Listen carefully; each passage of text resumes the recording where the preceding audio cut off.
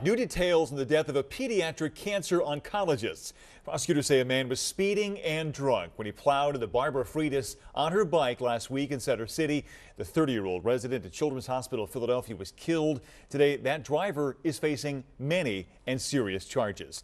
It is Thursday afternoon. I'm Brian Taff. And I'm Sarah Bloomquist. The big story on Action News is the charges announced today and the death of a beloved doctor.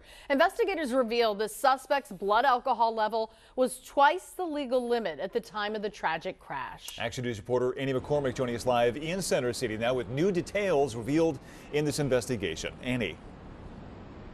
Yeah, Brian and Sarah, investigators had to wait several days for those toxicology results. Like you said, it's now revealing that he was twice the legal limit at the time of the fatal crash. Investigators say that the impact was so severe that the victim, a young doctor, was thrown 150 feet in the air. 68-year-old Michael Vayda now facing a slew of charges, including homicide by vehicle while driving under the influence after he struck and killed 30-year-old Dr. Barbara Friedes. Friedes was a chief resident at CHOP, an oncologist treating children with cancer. She was killed while riding her bike home along 18th and Spruce on July 17th. The um, striking vehicle, driven by Mr. Vayda, was in the bike lane, where it is not permitted to be, it was traveling, we believe, in excess of 50 miles an hour.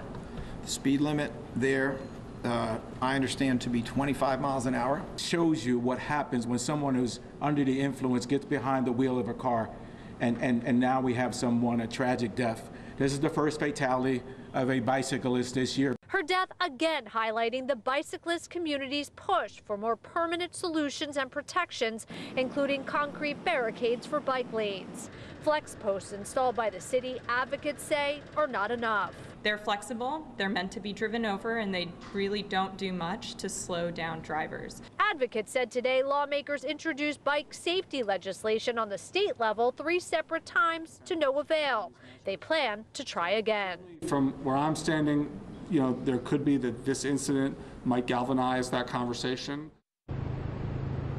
And the district attorney said today that initially the suspect was hospitalized, but then did surrender, and they are asking for a high bail today when he is arraigned. For now, reporting live in Center City, Annie McCormick, Channel 6, Action News. Brian and Sarah. Okay, Annie, thank you.